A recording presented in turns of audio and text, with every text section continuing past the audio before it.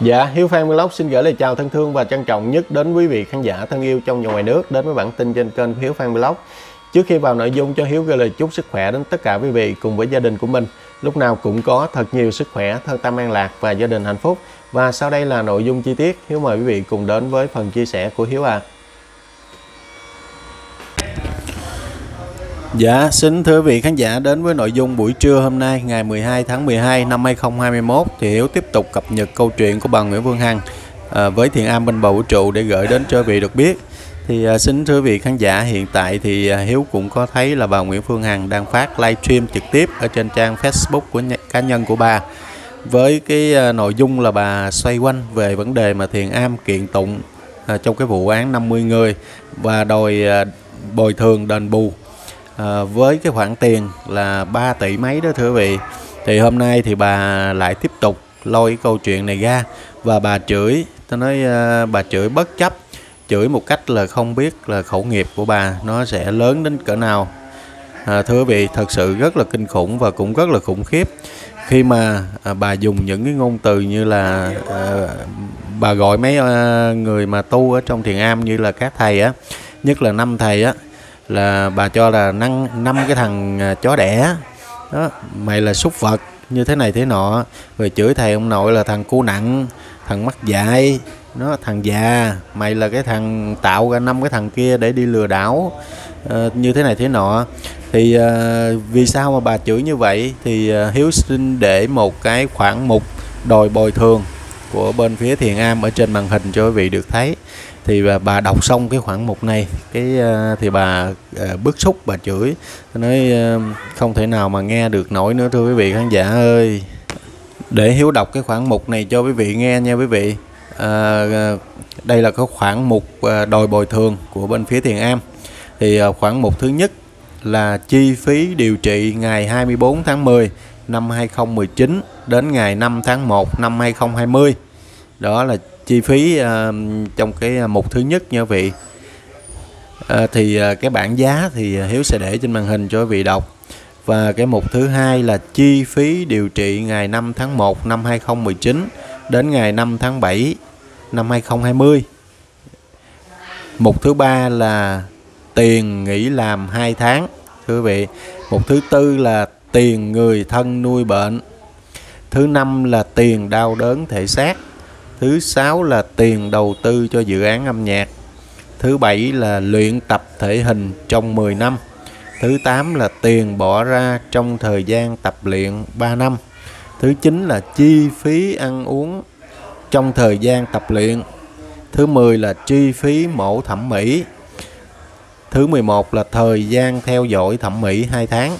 Thứ 12 là tiền đau đớn do phải mang theo cả đời, mang theo cả đời. Thứ 13 là tiền không biểu diễn nghệ thực do mang theo cả đời. Thứ 14 là tổn thất tinh thần. Tổng cộng là 3 tỷ 284 triệu 930 nghìn đồng. Đó, đây là tổng số tiền của 14 à, ờ, khoản mục. Đó thì Hiếu cũng để trên màn hình để cho quý vị xem là cái uh, mức giá của mỗi cái khoản mục nó như thế nào. Thì uh, thật sự là bà Nguyễn Phương Hằng, bà đọc thì bà sẽ ờ, nói ra từng cái chi tiết của những cái khoản mục này và bà đều chửi hết, thưa vị. Bà chửi các thầy là đồ chó đẻ, đồ súc sinh, đồ súc vật tôi nói chửi tan nát võ lâm hết, thưa vị ơi. Còn hơn là chợ búa nữa. Thì ờ, bà chửi bà chửi đã rồi cái bà hâm đánh, hâm đập, rồi xong bà đòi mua quan tài để cho năm ờ, ông thầy này nữa, thưa quý vị. Đó quý vị nghe có rất là kinh khủng không à thì uh, trong cái câu chuyện này chẳng có liên quan gì đến cái bà uh, cuồn cuộn cái bà thím này hết thưa quý vị. Nhưng mà bà vẫn bất chấp binh vực ông thắng. Đó trong cái vụ 50 người này giả sử đặt bà vào cái trường hợp của thầy Lê Thanh Nhị Nguyên thì bà sẽ như thế nào? Chắc có lẽ là bà còn uh, đưa ra nhiều cái khoản mục hơn nữa và bà còn đòi hỏi nhiều hơn nữa đúng không quý vị khán giả? Đó cái chuyện này là cái chuyện mà để cho cơ quan chức năng người ta xử lý đúng không quý vị? Cái việc mà người bị hại á, đòi đền bù á, như thế nào đó đó là quyền của người ta. Nhưng mà bên phía hội đồng xét xử họ có chấp nhận hay không đó là một cái chuyện khác đúng không quý vị? Đó còn cái việc này á không có liên quan gì đến bà hết trơn á nhưng mà bà xem như là đây là cái cái vụ mà bà gây ra cho thiền am không bằng vậy mà thiền am đòi đây là đòi bên phía ông thắng chứ đâu phải là đòi bà đâu. Bà bất công, bất bình như thế này thế nọ, bà lên bà la làng, bà chửi, bà sỉ nhục sỉ nhục bất chấp, sỉ nhục mà không có sợ cái ờ, khẩu nghiệp của bà nữa, thưa quý vị. Nội mà chửi thầy ông nội là thằng già này, thằng già nọ, rồi ờ, hâm đánh, hâm đập rồi là là xúc phạm ờ, danh dự, nhân phẩm, vu khống, bịa đặt các kiểu. Rồi à, nào là đòi mua quan tài gì ờ, cho các thầy luôn, thưa quý vị. Thật sự ờ, hết sức nói cái bà nội này luôn rồi. Ngày hôm qua bà like, thì hôm nay bà vẫn like tiếp, thưa quý vị. Hiếu nghe mà hiếu rất là bức xúc, bực mình. Liền làm cái video để chia sẻ đến cho quý vị khán giả. Bởi vì hiếu biết là quý vị khán giả sẽ không bao giờ mà xem cái livestream của bà nguyễn phương hằng, đúng không ạ? à? Thôi thì à, hiếu cho quý vị nghe một chút xíu bà chửi như thế nào nha quý vị.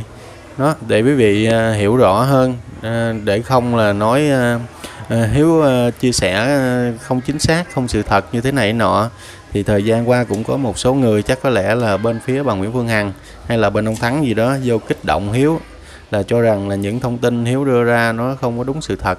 Thì thật sự rất là đau lòng, đúng không ạ? À? chỉ có những người yêu thương Hiếu mới hiểu được và biết đây là cái thông tin sự thật và chính xác ờ, nhất mà Hiếu muốn gửi đến cho vị. Tất cả đều là sự thật và tất cả đều là của chính miệng mà Nguyễn Phương Hằng nói hoặc là báo chí chính thống nói nha quý vị. Thôi Hiếu mời quý vị cùng nghe chút xíu bà Nguyễn Phương Hằng chửi cho vui nha quý vị.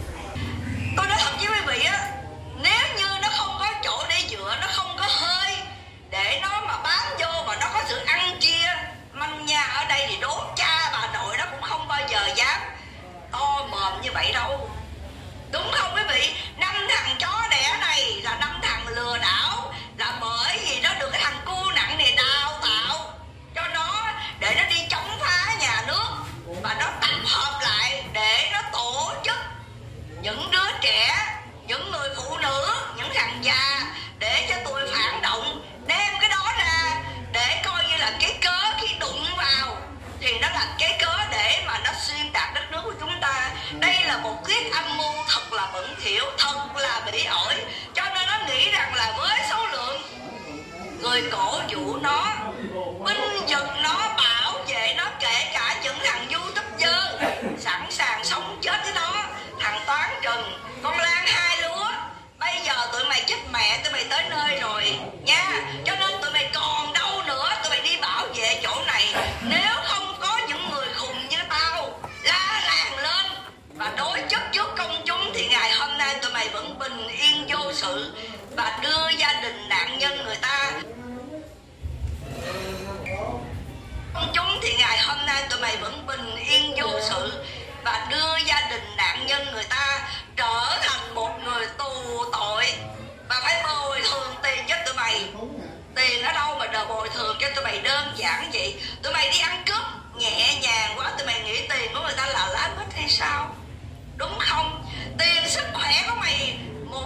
một tao nghe mà tung sáng cho mặt của tụi mày.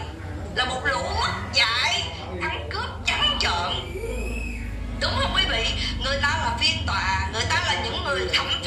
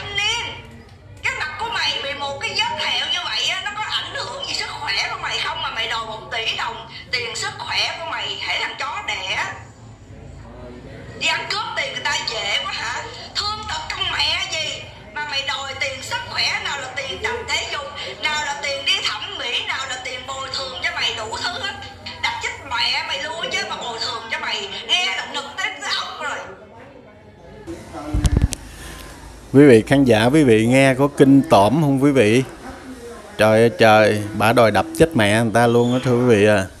Hết sức nói cái bà này rồi. Đó, bà còn khen là cơ quan chức năng chính quyền tại tỉnh Long An là làm rất là tốt và xử cũng rất là công bằng trong cái việc này, thưa quý vị.